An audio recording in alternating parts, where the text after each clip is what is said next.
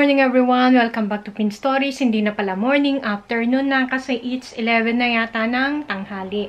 Ngayon, ang gagawin natin is pupunta tayo sa Cherry Blossom. Ang tawag dito sa Japan, Isakura. Meron silang ginaganap na festival, kaya lang pakiramdam ko wala nang ganun ngayon dahil meron tayong coronavirus. Ngayon, kahapon, 100% ang ulan, kaya mas maigi ngayon Monday kasi kahapon linggo, 'di ba? Hindi natin alam, baka maraming tao ngayon. Pero, ingat-ingat lang. At isasama ko kayo. Kaya, let's go! Kumain muna tayo bago tayo pumunta doon. Diyan tayo kakain. Ang aking anakis. Kaya ng aming pagkain. Ayun naman ang kay Noah. Hindi siya nagkakanin. Oishi. Na.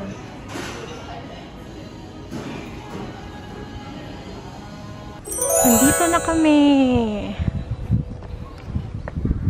너는 내게 있어 항상 특별해 모든 숫자엔 빨갛게 늦게까지 하고픈 거 하고 다 잤다고 느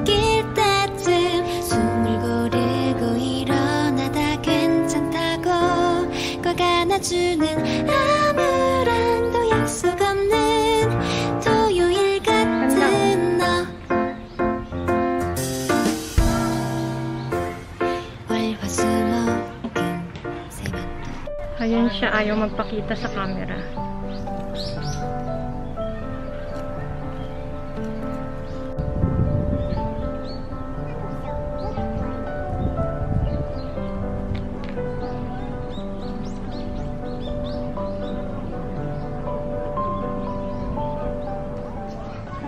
Ang ganda dito, walang masyadong tao. Hindi siya matao masyado.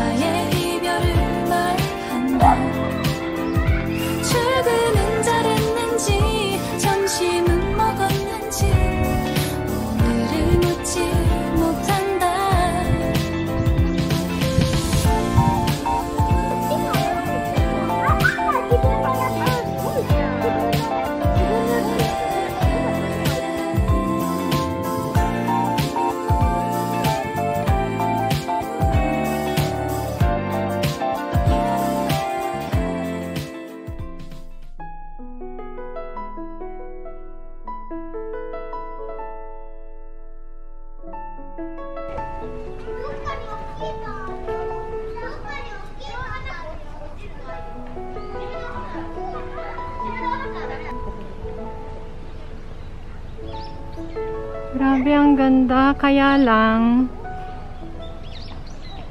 parang lagas na siya.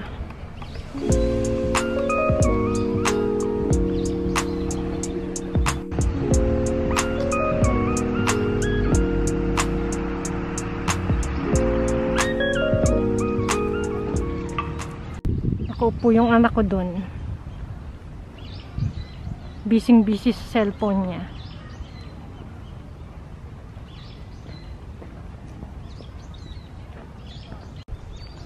Uwi na kami.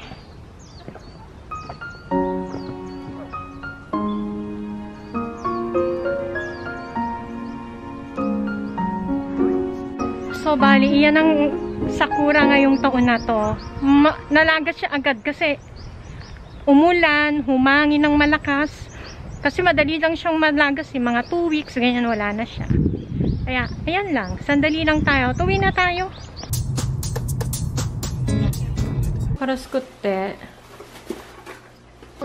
ただバター混ぜてるだけだよ At ngayon nakauwi na kami sa bahay at magluluto naman ako ng hapunan at siya naman i...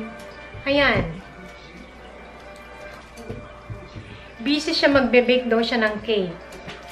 At dito na po tayo magtatapos at maraming salamat po sa mga nanonood at sa mga hindi pa po nakasubscribe. Subscribe po. Like and comment. Salamat. See you again next vlog. Thank you. Jo. Hello. Why? Hello. Hello. Hello. Nabahay na.